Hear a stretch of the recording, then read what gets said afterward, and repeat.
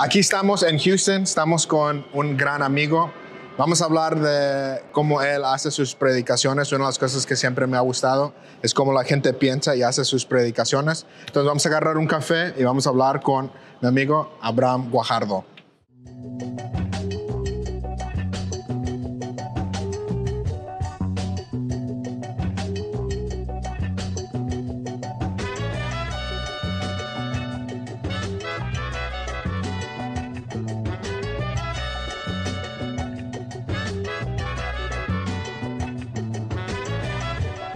Abraham, cuando estás pensando de hacer una predicación, una prédica, ¿cómo empiezas?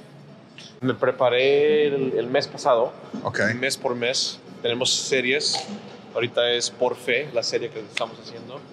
Y comienzan con un, un café. Y de ahí la inspiración viene. Claro. Es Dios más café, es la inspiración para la No predicación. Cristo, no la Biblia. No, no. no, sí, comienza con experiencias. Literalmente en Houston, ahorita estamos aquí en, en el centro, hablando con personas. Obviamente Dios te habla a ti, hay cosas personales que Dios está diciendo, pero cuando hablas con personas, comienzas a decir, ah, hay un tema que la sociedad generalmente está pasando. Y normalmente de allí me baso y de ahí me voy, ¿no? Y está conectado con la devoción de la mañana. Ah, leí eso esta mañana. Y es conversación. So de ahí me baso y ahí comienza todo. Um, ¿Qué le dirías a una persona joven que no ha predicado por primera vez? ¿Qué le dirías? Empieza a hacer esto. Empieza, empieza a predicar en tu carro solo.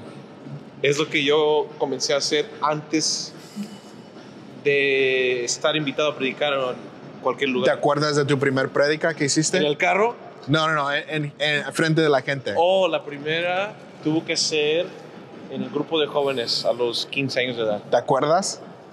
No me acuerdo exactamente. Era dos minutos la predicación. tenía el bosquejo, tenía todo escrito. Y me subí y me puse tan nervioso que en dos minutos acabé todo rápido. Pero no me acuerdo el tema específico. No, no era algo que era Y impactante. te dio tu chance, tu pastor de jóvenes, tú pediste la chance. Él me dijo, quiero que prediques. Le dije, ah, ok. Le damos. Y luego, entonces a los 15, y luego hasta cuánto dijiste, ok, ahora entiendo esto, eh, ¿verdad? I got a groove, entendí. Sí, en el Instituto Bíblico a los 17 años ya comencé a predicar un poco más, ah, con el grupo de jóvenes todavía, no en otras iglesias, y de ahí ya mantení el, el groove, como tú dices. Ah, comienzas a escuchar a gente que quizás te inspira y dices, ah, le- déjame hacerlo como él lo hace, y de ahí aprendes lo que es tu identidad y Ya. la manera que tú puedes comunicar, ¿no? So, yeah. Entonces vamos a agarrar nuestros cafés y vamos a seguir hablando de las predicaciones.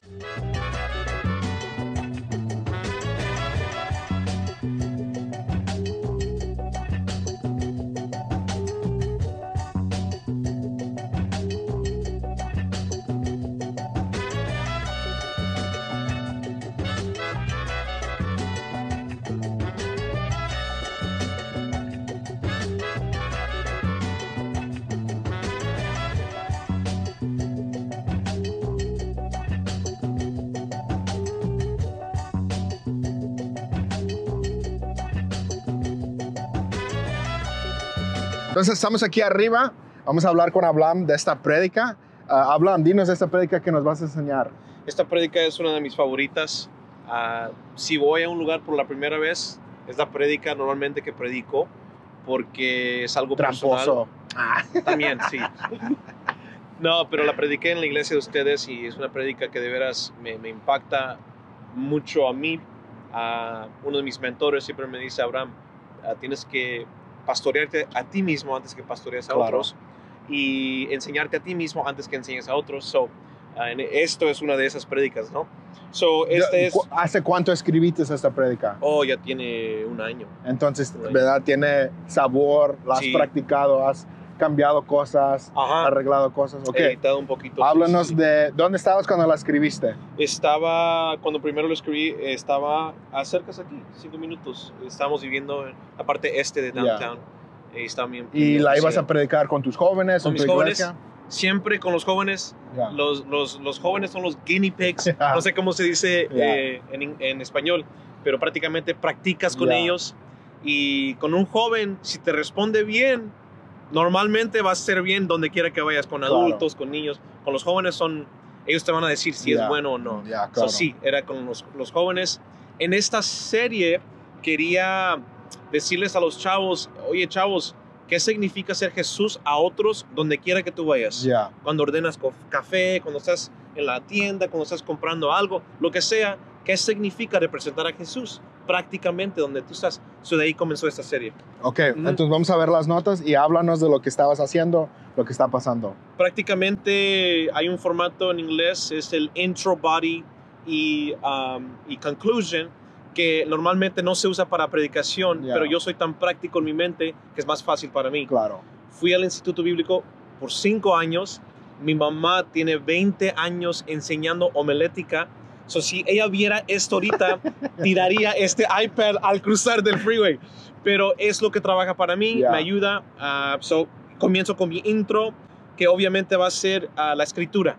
El intro sería como Jesús siempre dijo, déjame decirte lo que el Padre me está diciendo a mí, es lo que yo así tomo el intro. Ya. Te voy a decir a ti, la congregación, lo que Dios me ha dicho a mí por medio de la escritura.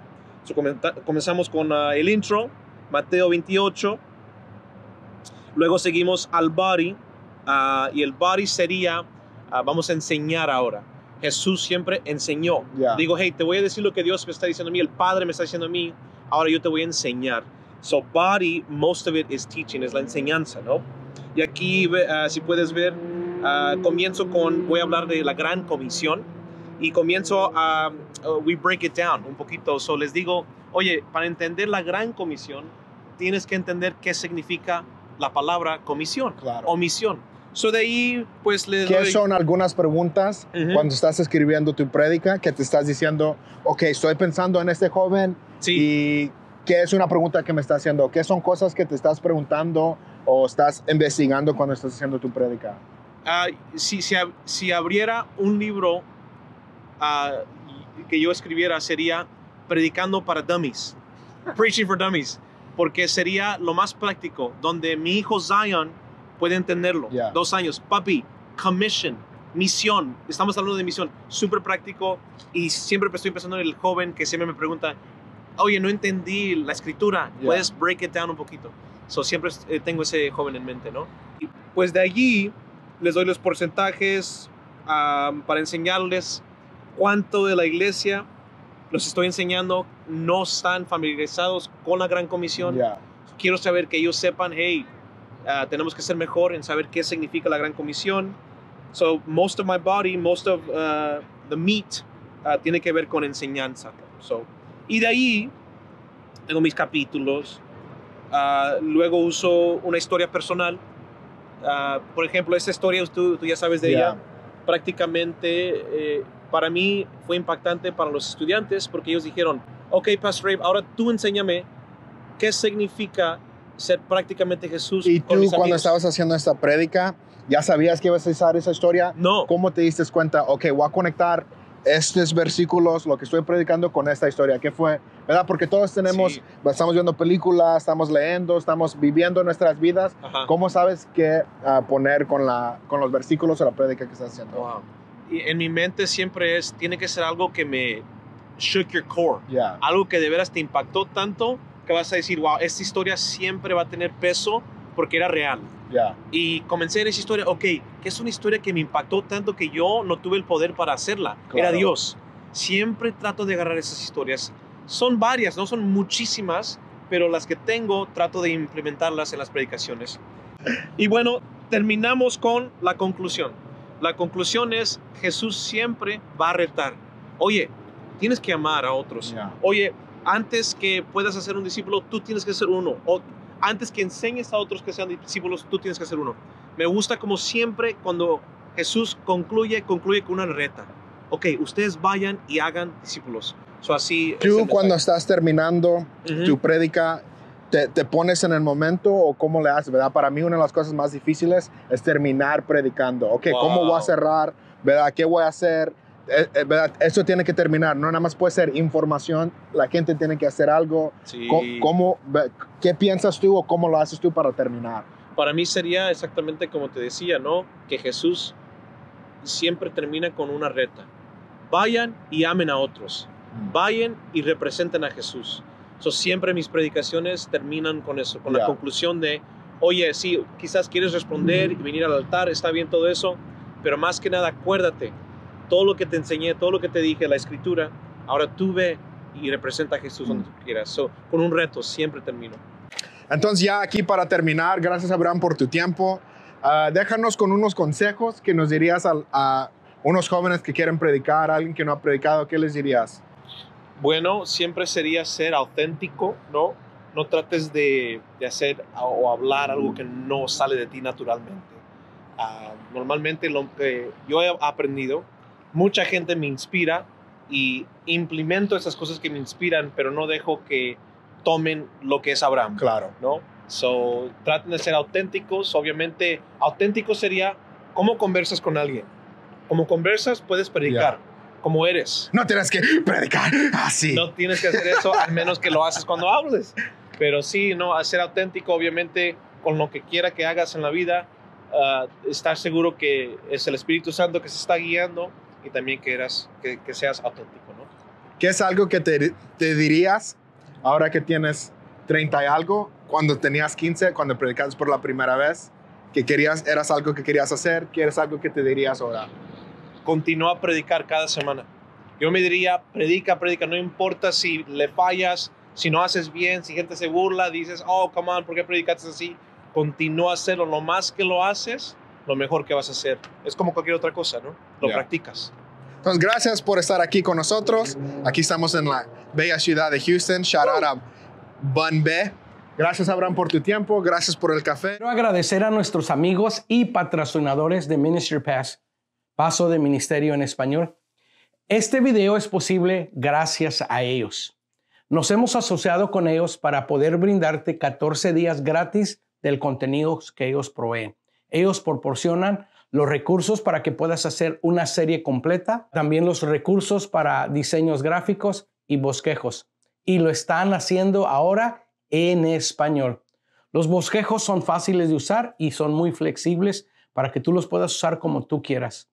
Tienen diseños gráficos que tú puedes usar para tus redes sociales y videos que puedes usar como bumpers para empezar las series. Por favor, haz clic en el enlace a continuación y vas a poder obtener y para probarlo por 14 días totalmente gratis. Sé que te va a encantar porque a nosotros nos encanta, nosotros lo usamos todo el tiempo en nuestra iglesia. Muchas gracias por estar con nosotros en Amigos para Todos. Te agradecemos mucho el que tomes el tiempo para estar con nosotros. Síguenos en las redes sociales y por favor haz clic y comparte este video con alguien más.